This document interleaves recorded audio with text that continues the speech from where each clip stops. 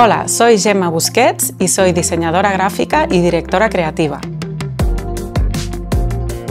Mis conocimientos en visualización de datos me han permitido explorar diferentes entornos, como exposiciones, apps y también proyectos de branding.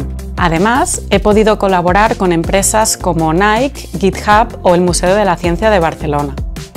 Todos en algún momento hemos tenido que presentar algún informe o algún gráfico, pero muchas veces no contamos con las herramientas para hacerlo atractivo. O por el contrario, sabemos usar algún software profesional, pero entregamos gráficos complejos y poco vistosos.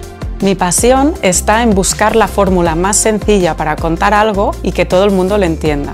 Y en definitiva, el lenguaje visual es el formato con mayor potencial para alcanzar a un gran público de manera rápida y eficiente.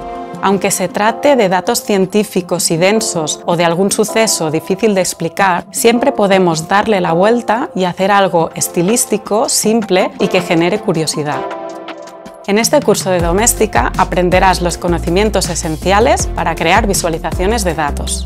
Desde estadísticas hasta mapas y diagramas, en tu proyecto final harás gráficos atractivos para explicar una historia en diferentes formatos, para comenzar, entenderemos la importancia de la visualización de datos en distintos proyectos. Conoceremos las consideraciones iniciales para empezar a visualizar, los tipos de variables y los errores más habituales.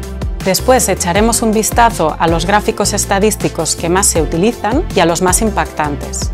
Luego entraremos en la representación de lugares y regiones mediante los mapas y descubriremos el mundo de los diagramas abordaremos los principios del diseño de datos para lograr que la información sea clara y contundente. Aprenderemos cómo los atributos visuales nos ayudan a comunicar y hablaremos del color, la tipografía y la composición ideal para nuestro proyecto.